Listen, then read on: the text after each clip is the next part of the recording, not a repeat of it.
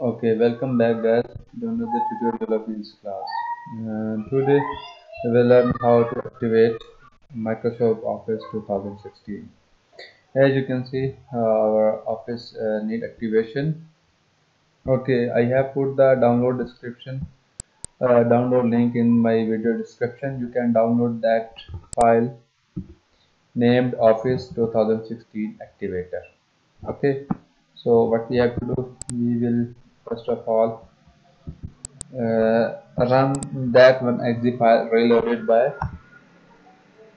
Okay uh, so wait the file execution.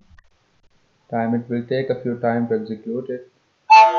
And put yes. A window will come in front of you.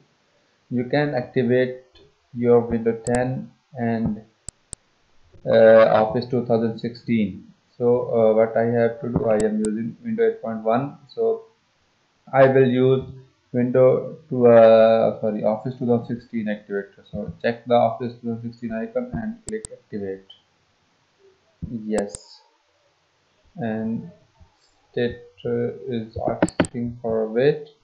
We will close all the files from our office. Okay. Activating office 2000 pro plus 32 bit so status still awaiting.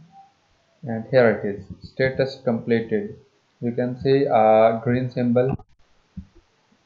Yes here. You can see a green symbol. It's mean your office has been activated. So what we have to go to our Word 2016 and first thing okay just use these things and here you can say your office is activated